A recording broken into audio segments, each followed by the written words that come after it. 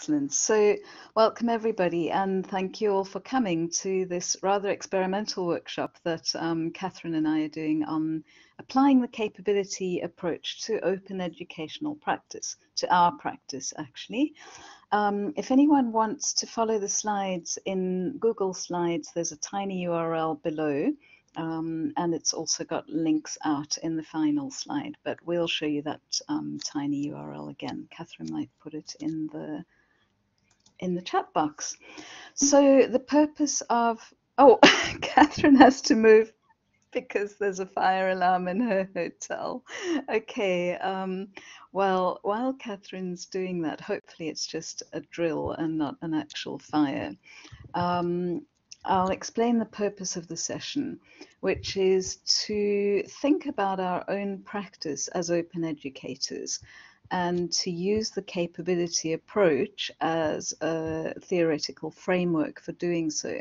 So it's kind of self-reflection, but also learning and developing a shared language for talking about it in this particular way.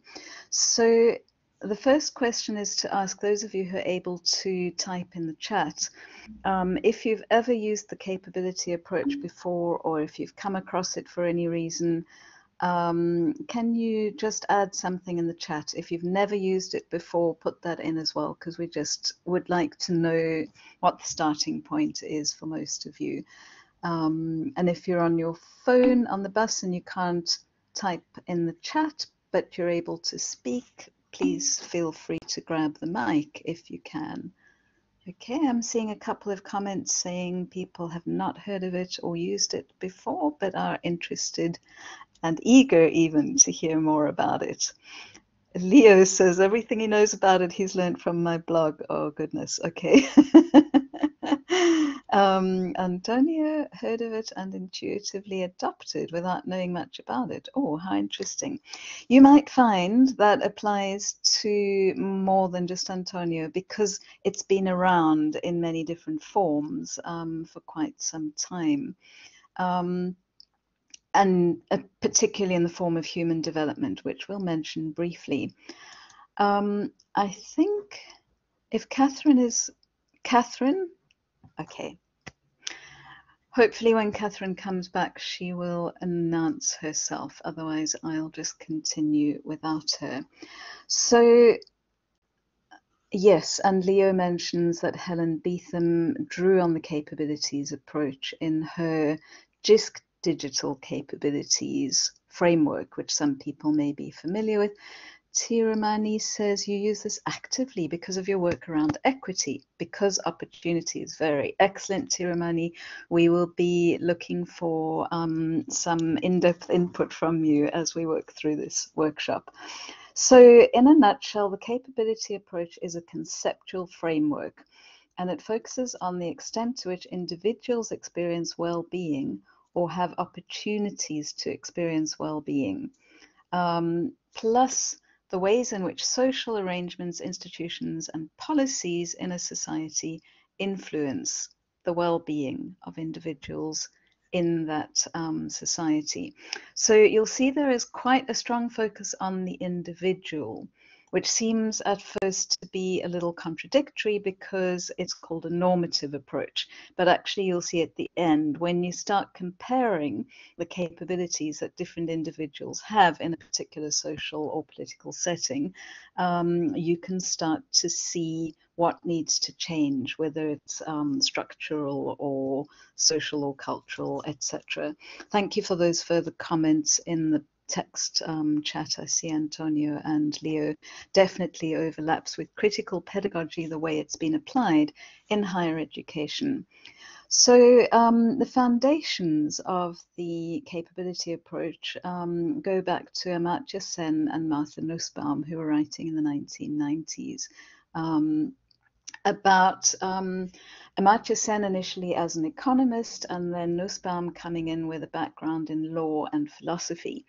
Um, and Sen was challenging the notion that in order to achieve equality in society, everybody just needed equal access to resources.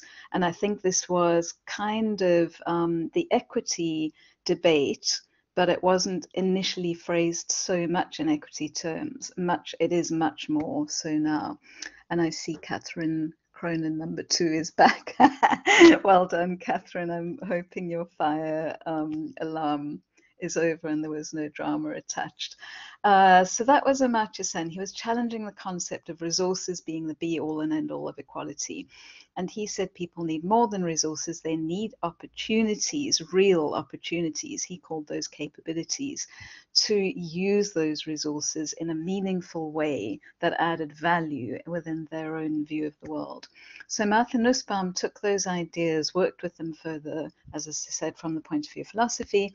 Mahbub al Haq you may never have heard his name, but he was very influential in the development of the UN's human development indicators and the whole concept of human development, which is at the core of the United Nations, all the work they do on welfare. So that's why I think many of you may have actually come across the capability approach without necessarily knowing it.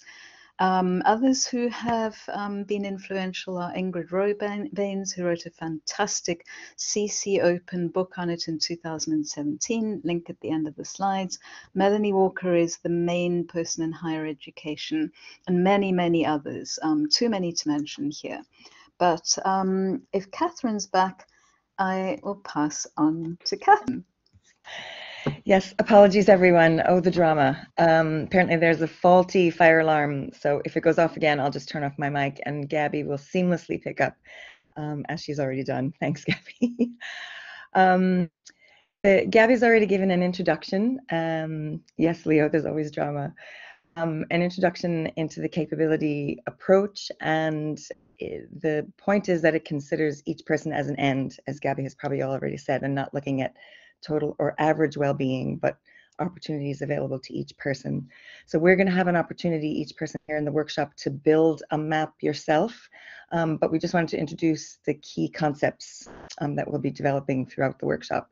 Um, and obviously these include capabilities, but also functionings and conversion factors. So capabilities are what Sen calls substantial freedoms. So if a person has the freedom to choose what they are able to do, and to be. So these might include things like to have good health, to have adequate shelter, to have bodily integrity, as Martha Nussbaum identifies, which includes being able to move freely, you know, from place to place. Um, functionings are the realizations of one or more of these capabilities um, in an individual's life. And um, these functions, functionings can be, you know, low level or elementary or valued. And we will use the term valued functionings. This is from, from Sen's terminology, which relates specifically to those functionings that are about well-being. Um, and finally, um, there are a concept called conversion factors um, some which may enable you to convert resources into capabilities, and some which may constrain you from doing so. So that's a lot of terminology, but we're actually going to step through it one by one, and you're actually going to build a map which hopefully facilitate you getting to grips with some of the complexity of a capability approach, but also think about how to apply it with respect to open.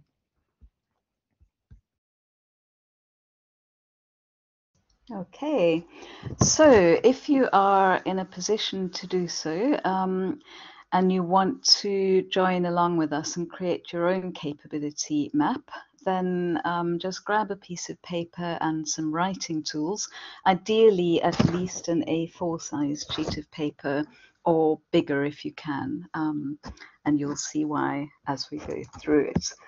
So back to Catherine to introduce the aspirations. Okay.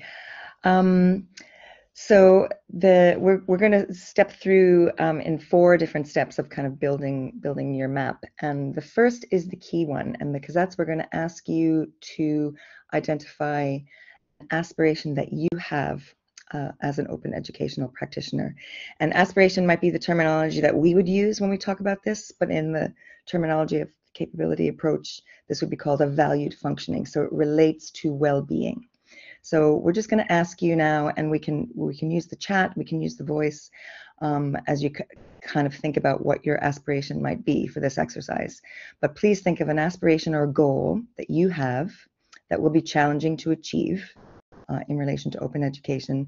And when you're thinking of that, also think about whose well-being it will enhance. Um, it could be yours, it could be someone else's. And because this is the first piece of your map that we're asking you to add, um, we've created a Google Doc. You don't have to use it. You can use the doc, you can use the chat, but we just thought it might be um, useful for us to share our aspirations with one another if you want to, um, so that you can really feel happy that you've identified a useful aspiration. And then you can write that one on the bottom of your paper and we'll build our maps. But as with every step of the process here, Gabi's going to show an example. Um, so she can, so you can get an idea of the kind of thing we're talking about. So Gabi, do you want to, to show, you know, what your uh, aspiration uh, is? And this yep. is also in the Google Doc. Okay, and I'm seeing quite a few people already in the Google Doc, which is wonderful. Um, so I put mine at the top in that table at the Google Doc. Um, my aspiration is to develop and share my PhD thesis as an open thesis. So primarily here, I'm talking about the open aspects of um, sharing my thesis as I go along. My thesis is on investing student engagement in the case of forced migrants in online higher education. So in terms of whose well-being, I hope it will enhance. I hope it will enhance people who are refugees, asylum seekers, other kinds of forced migrants who want to learn online and probably learners from other underrepresented minority groups. Um, and it will help them indirectly by contributing to our, and when I say our, I mean in the higher education sector, collective understanding of the lived experience of such learners. I will keep quiet for a little bit now because I see lots of stuff happening in that doc.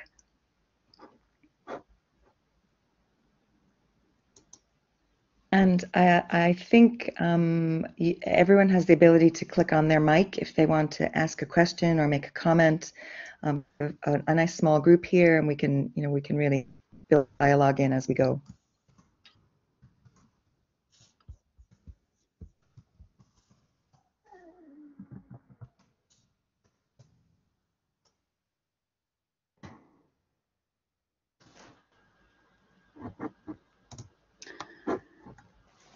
Wow. So no shortage of um, aspirations here and ambitious aspirations, I must say.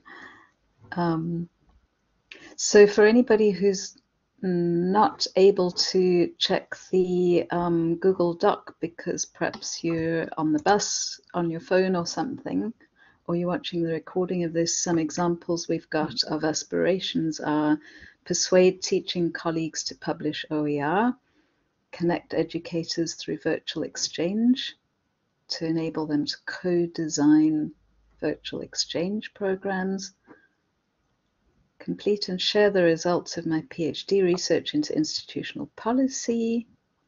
That's quite a long one, so I'll stop there, but great that someone else is linking it to their PhD. Mm -hmm um, reflect and improve on practice.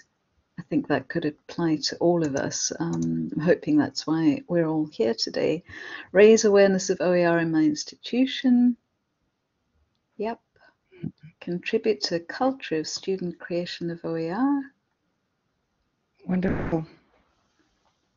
And then all the associated um, individuals and groups who are benefiting. I'll move on to the next slide. I know most people have shifted into the, a different tab in their browser probably by now, but if you want to see the next slide, you'll see how I've um, positioned my aspiration and the rationale for whose well-being it will enhance right at the very bottom of my sheet of paper. Now, really, this should be done in a portrait format, not a landscape format. We're a bit um, constrained by the format of the slide presentation. So if you can use your sheet of paper and just transfer your aspiration and well-being, just use bullet points, you don't have to write it out in full, to the bottom of your piece of paper in a box or a cloud or a bubble or whatever works best for you. And we're going to work upwards from there. So um, do you think we can, we're ready to move on, Catherine? Does anyone want yeah. to ask anything? yeah, if anybody wants to ask a question in the chat or on the mic, make comment. And if not, we can just we can just go ahead. But you know, we we just want to be clear that we're open at any point to pause, to you know explore things further. I see Karina has put her hand up. So Karina, do you have the yes. power to grab the mic? Nice to hear your voice. Nice to be here. Um, yeah. Can you hear me well? Yes. Yes. Good. Um, uh, I'm sorry, I arrived a few minutes late, so it could be that you have covered this um, already. But what if my aspiration is more practical and not necessarily related to enhance and uh, well-being of the learners, for example. Okay, what... that's fine. It might be enhancing your own well-being by mm-hmm. making your life simpler, saving you time, or making things smoother between you and your colleagues. It doesn't have to be a huge world-changing enhancement goal. Um, right yeah and i guess by working on my aspirations that really has a fulfilling effect anyway personally exactly. professionally and, yes and once you've achieved that aspiration it's a constant upward chain of aiming for new aspirations mm-hmm. so it should prepare the groundwork for further valued functionings as we call them in the capability approach yeah. so this might just be a milestone along Wonderful. the way Great. I'm glad you. you asked that, Karina, because there is this, you know, there is a, whole set of terminology in the capability approach, and valued functioning is is one of them. Mm. It's um, you know, it's mm. the realization of capabilities, but by it, valued functioning means it relates specifically to well-being. You know, as Gabi yeah. said, either for you or someone else and it's it's good that yeah. you know it doesn't have even though the name the, the, the it feels like uh, uh, what's your aspiration? So it doesn't have to be. So it can be my individual small one that slowly mm. one builds on the other. It doesn't have to be anything uh, um, you know to change the world to begin with no, because lots yeah. of small aspirations, you know, combined can change the world. Um, I mean, as Catherine uh, points out, the valued functioning means it must be something important to you. Mm-hmm. Um, hmm. so Very something that you see as meaningful. Yeah. Wonderful. Hmm. Thank you. Great. Okay. Uh, let's see. So I think people, one or two people are still writing in the doc, but um, I'm assuming that by now most people have gone on to writing on their own chart by hand. So shall I move on to the next slide? Back to you, Catherine. Sure. Yeah, and, and obviously people can um, tell us to slow down or, or pause if we yeah. need to. Um, so we're, we're going through four distinct uh, steps in kind of building our maps today. And the second one is, you know, once you've identified this valued functioning, this aspiration that you'd like to achieve, um, next step is thinking about what resources do you need in order to achieve this? And you know it doesn't have to be an exhaustive list of resources and usually this is not difficult for any of us because we, we can identify the resources that we have or the resources that we want to have. So what are the what are the resources that you believe you need in order to achieve that aspiration? They could be things like having time, having uh, permission, having access to something, um, a tool. Um, so it can be a, a, whole range of things, but just brainstorm and, and think about what resources you need to achieve the aspiration you identified. And again, Gabi, I'll just share an example. Right. Okay. So in my case, the only resources I've put there, but I I'm sure I need others as well. But really, the most essential resources for me to do an open thesis um, are my social networks. Um, because otherwise it's not open at all. So I need the networks, I need the platforms, and then I need all the tech setup, the Wi-Fi, you know, laptop devices, um, and beyond that, I need resources to do the PhD itself. I need access to libraries, I need access to databases, journal articles, um, I need time probably is the most fundamental one. Um, so we're just asking you to add this um, to your own um, map that you're drawing. And I'm seeing some interesting comments in the chat there about how the process breaks things down and Antonio finding this therapeutic. Does anyone want to ask anything at this stage or um, say anything else, or shall we move on to the next stage? The, the really interesting stage is coming next. okay, we didn't think anything badly of you at all, Antonio, or anything like that. Um, glad you Okay. will. So um, we are perhaps used to thinking in terms of, you know, if I want to do X, then I need to have Y, right? And so, in other words, in terms of thinking of resources that we need, but thinking about abilities is a different type of thinking. So, in order to achieve your aspiration, what do you need to, what do you need to be able to do or to be to achieve aspiration? And this is the notion of capabilities. So capabilities could be things like opportunities, uh, you know, what you're able to do or be, or also, you know, more just things like skills um, and capacities that can be fostered um, under particular circumstances. So again, feel free to um, to ask questions in the chat or you know look back at um, you know what you wrote for your aspiration, but thinking at root what do you need to be able to do or what do you need to be able to be in order to achieve your aspiration and gabby's going to share her example just to maybe help you along Okay, thanks, Catherine. Um, I so the thing about capabilities is it's often defined in different ways by different people, and that makes the reading very confusing sometimes. So initially, um, oh, that's Catherine's fire alarm going off again. Oh dear. Initially, um, Amartya Sen defined capabilities as specifically opportunities and freedoms to do things. And then Martha Nussbaum took that idea and, and completely agreed with that, but said we need to define those opportunities and freedoms in a list. She made a list of 10 core um, core capabilities, which you can find on Wikipedia. It's fascinating if you want to. Capability approach Wikipedia, and you look for that list of 10. And those are like the essential, what she called fundamental entitlements of all human beings. Melanie Walker, who uh, took this into higher education, and many, many other authors since then. Um, expanded the notion of capabilities to also include the more commonly associated way of thinking of capabilities as skills and capacities that can be fostered.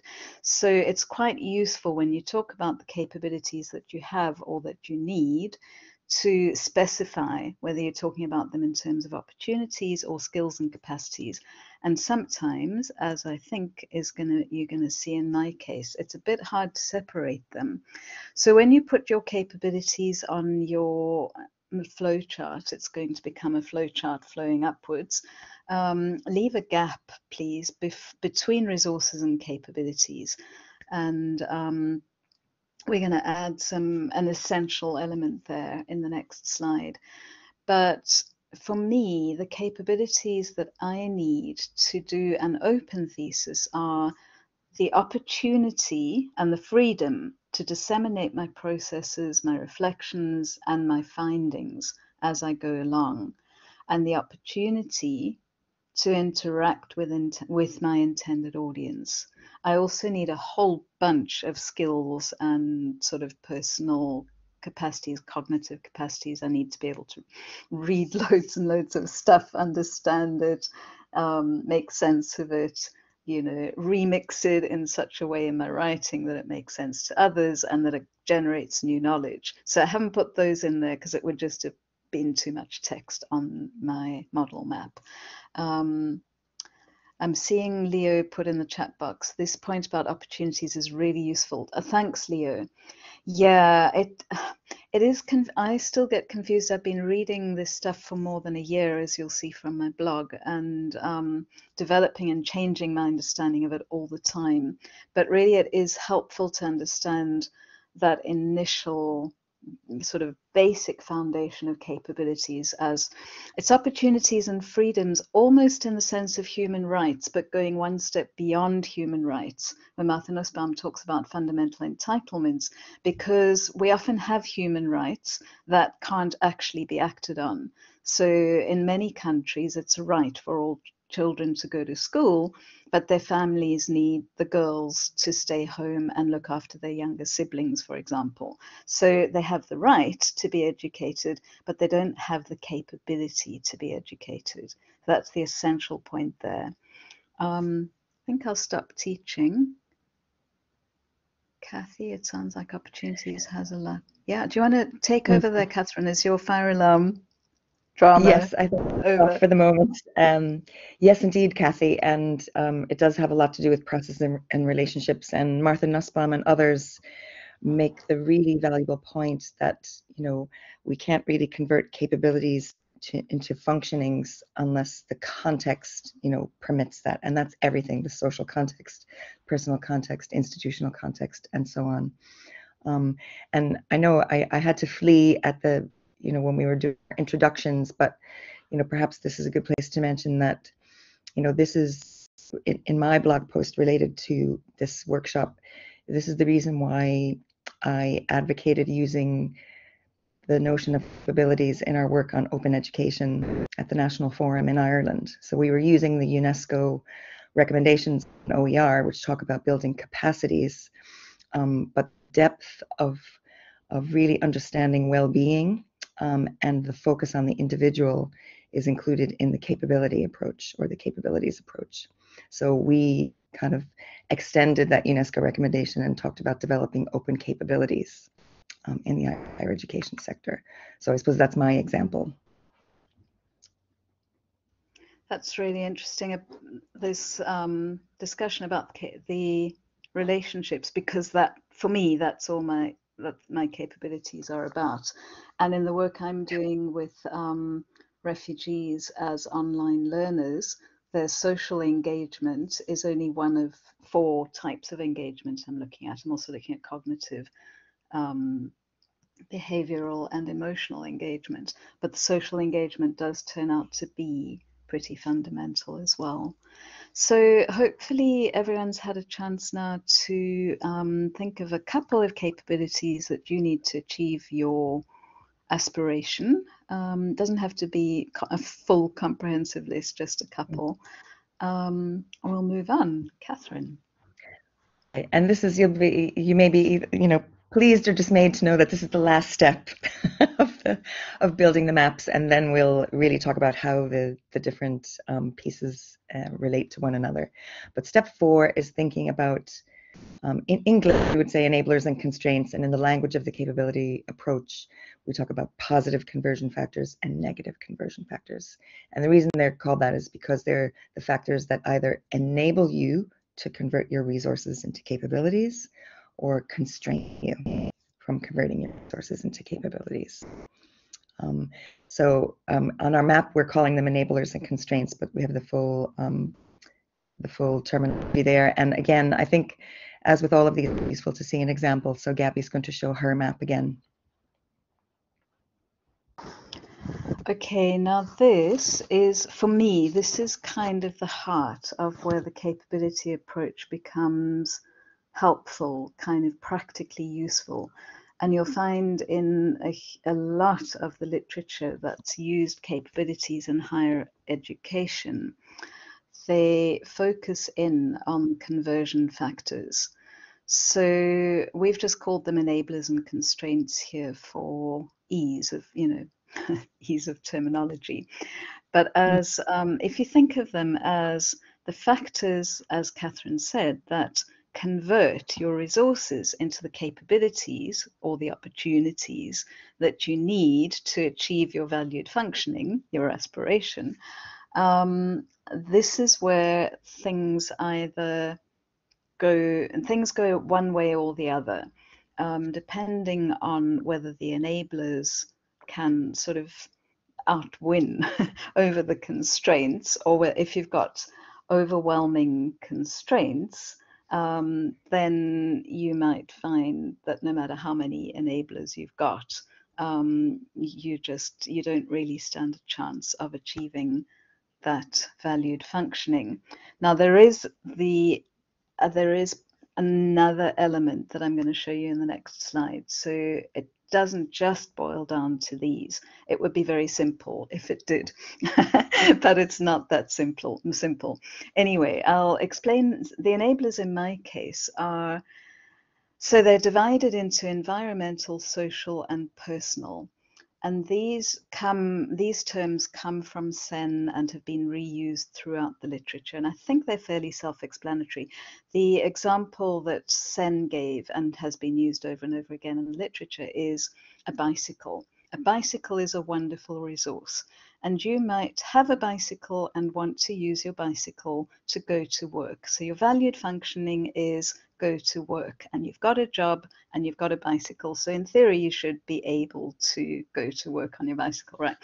Um, and but then your conversion factors are going to influence whether you can actually do that. So environmentally, you need good roads you need a good infrastructure where you know you can actually physically ride a bike um, safely um, I'll skip to personal next. You need the, the ability, you know, the skill to ride a bike without falling off it, um, unlike me. That's a mm. non starter for me, sadly. Um, but socially, the social one becomes really important here because in some societies it's a taboo for women to ride bikes. So you've got the bike, you've got the job, you've got good roads, you know how to ride a bike because you learnt when you're a little kid, but you don't have the capability to go to work on your bike because you're a woman and your society doesn't allow women to ride bikes. So that's kind of the sort of archetypal um, mm. example that's always given. So in my case, environmentally, I could say that's always about infrastructure and sort of wider context and so on. So in my case, an enabler is I have access to online tools and spaces for creating and sharing my work. Um, socially, I have wonderful social networks. I'm right in the middle of one of them right now, so I'm in my element. And personally, um, I have a lot of enthusiasm for doing open access research, and that kind of drives me along. The constraints, on the other hand, are can sometimes be daunting. Institutional rules about what a PhD thesis should be prevented me, for example, from doing a huge collaborative thesis, you know, getting massive participation from every refugee and asylum seeker I could find, um, you know, and writing it as a big Google Doc um, because it has to be authored by me, okay. Um, and perhaps I was a bit conservative and I didn't push the boundaries there. I could have kind of wish I had now, but anyway, it's too late for that now. Again, I'll jump to personal next because for me, a, con- a, huge constraint personally is my limited time because I work part time and I do other things. Um, but the interesting one for me again is social, that um, it's a constraint, but it's a really important constraint um, I would love to just do everything absolutely openly, to be, you know, having my interviews online with the people I'm speaking to live on YouTube, like we're doing this today, kind of thing. But for very, very obvious ethical reasons, that's just not um, not feasible and not wise. So I'm constantly having to make small judgments, and I think that I, this goes back to that um, paper that you wrote, Catherine, about how we as open education practitioners are constantly making small decisions from the micro right through to the, the meso and the macro. You know, do it, should mm-hmm. I share this? What should I share? How should I share it? Who should I share it with? Etc. Um, and that becomes quite an important part of the process. So it feels like a constraint, but actually it's kind of part of the overall aim as well, if that makes any sense. I'll stop there, Catherine. Yeah, I'll add one small thing. That was beautiful description, Gabi, and, and really want to open the mic and the chat to everyone who's thinking through this. But, you know, so many of us engaged in critical and social justice approaches to open education, you know, and in in talking, you know, pointing people to to, uh, to look at the structures, you know, look at the structural impediments, don't just look at individuals. And I think a really powerful aspect of the capability approach is that it's very holistic. So you look at all the enablers, as Gabi has shown, from the very personal to the cultural and to the structural. Um, and likewise look at the constraints in that way as well. So it frees up a lot of the discussion and the it's just a different lens um, for yeah. Yeah, actually, that's a good point, Catherine. We haven't got the word structural on the diagram. And I, I was kind of looking for it, thinking, hmm, where is it? But actually, it's definitely environmental because it's what's in the infrastructure that has been set up through, you know, mm-hmm. various political and social processes. It's in the social. It's even in the personal because, um, you know, uh, that that's the whole equity thing again, where a person who has, uh, let's say, disability or something, um, therefore doesn't have the opportunity, the capability to do what they want to do, they are prevented by structural elements. So it's kind of running all the way through this. And I see we're getting some comments about Bourdieu in the in the chat. Some people have um, linked uh, their capabilities work to um, to Bourdieu. Caroline Sarojini Hart, I think her name is, wrote a book in 2012, um, which I'll share the link to a bit later on um, if anyone's interested, um, where she used Bourdieu's concepts of cultural capital and, you know, students coming to university lacking certain capitals. Um, and it actually works very well together with the capability approach. So the capability approach has been critiqued by some people for being too individually focused and not giving enough of a sort of structural critique of society. Um, and for that reason, some people have combined it with other approaches. But I'll move on just to sort of keep us moving through the, the map now, and you'll see in the next version of the flowchart, um, we've added arrows. And Catherine and I had a really interesting beginning of a conversation just before this session started where I thought, oh my God, I've got to revise the map. Catherine said, as an engineer, she is she has issues with some of these arrows that only go one way. And as soon as she said that, I thought, yeah, because aspiration, I've got it leading up to resources.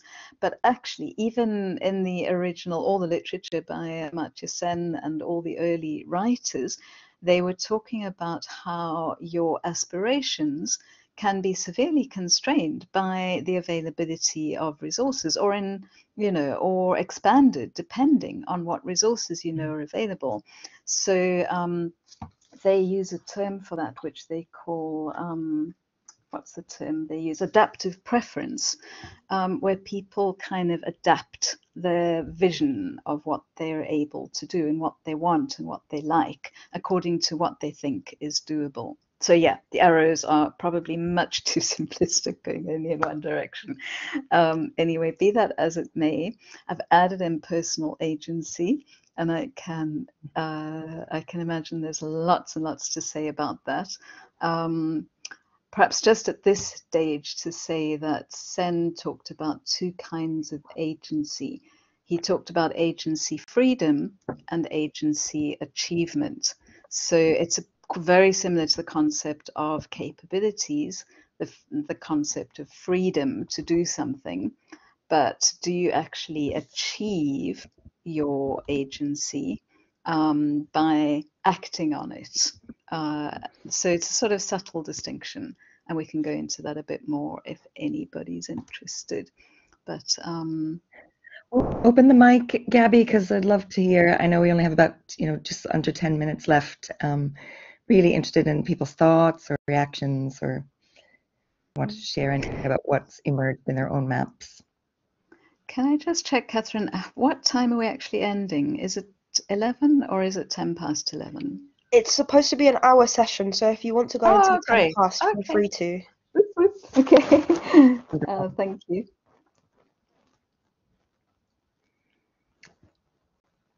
I mean, we can certainly end a few minutes early. No one complains at that, but I, I definitely would love to yeah. hear. There's a great bit of chat going on, but I know not everyone may have access to the chat. So, um, anyone who wants to, to jump in, by all means, please do so.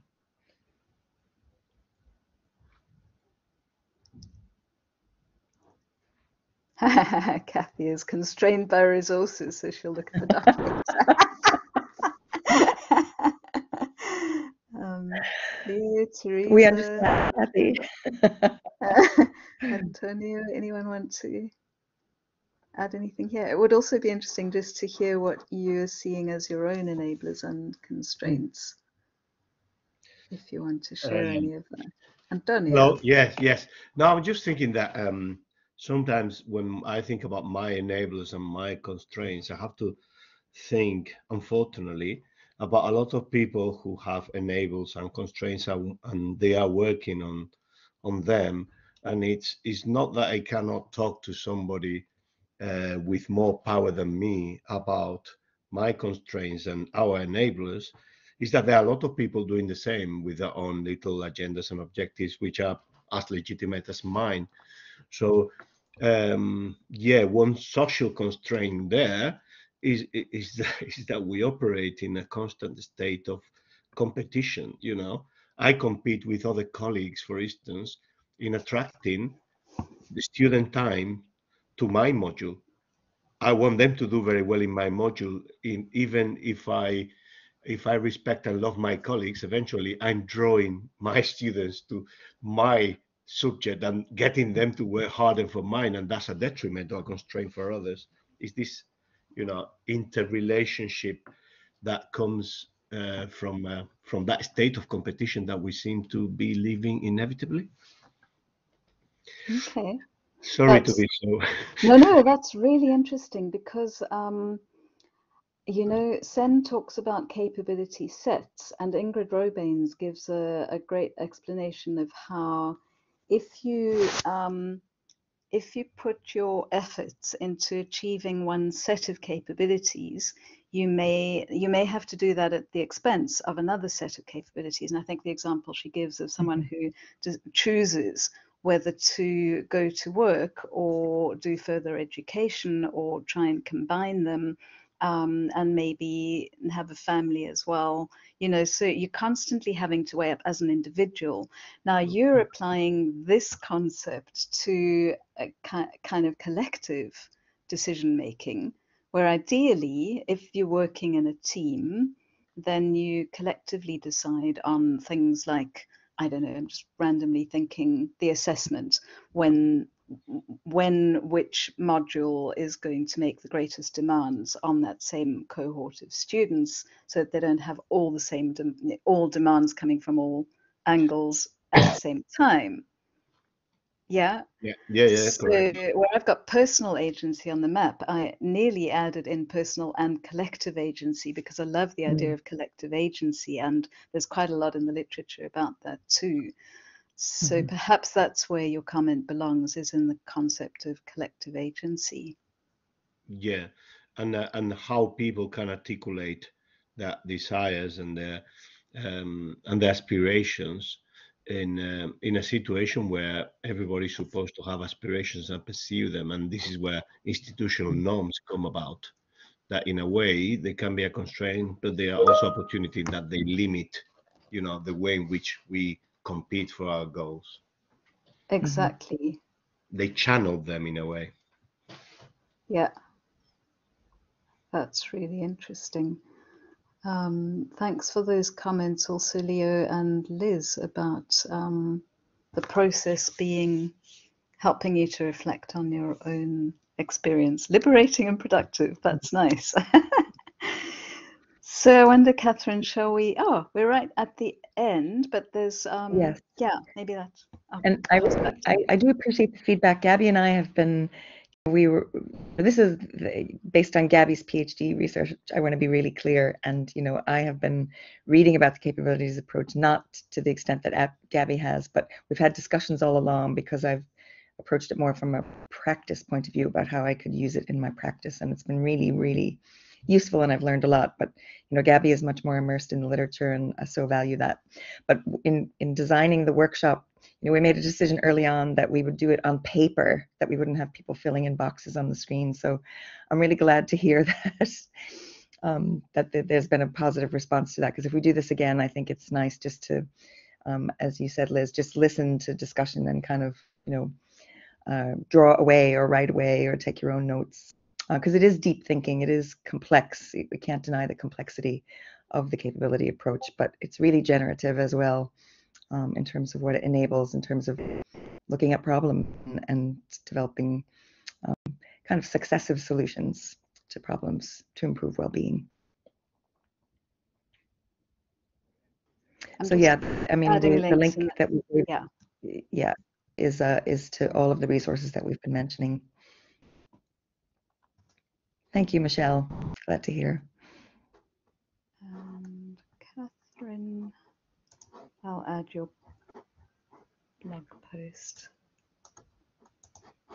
And honestly, that's you know, I, I don't think there's any in a very very full day. I don't think there's any crime in finishing a few minutes early, because it's a it's an awfully full day. But I don't. I also want to be sure that we answer people's questions or or have give you an opportunity to to talk. Mm-hmm. Catherine, that's completely fine. If you're happy and you don't feel like anyone has any further questions, we can end the recording in the session now.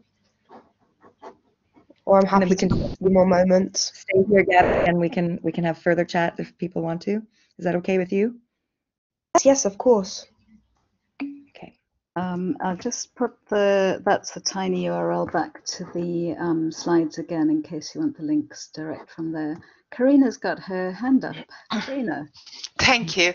Well, thanks for for the the the presentation. The workshop has been really really interesting, and I can see, like others here, is uh, are putting in the chat how this can be applied to my own work as you know helping others helping other academics in professional academic professional development to actually think about their aspirations and well-being and how you know their work can affect the work of others and how my work can also uh, help them uh, uh to have this reflection. Because like others said it's very uh, uh um, it's a very a very good framework to use and you know it's in in small stages so it doesn't overwhelm uh, um, users and and i found it very interesting so thank you ladies for your work and presentation that's great thank you for the feedback I Thank see some people Karina. are disappearing. Yeah, yeah, but anyone who wants to stay on for a bit and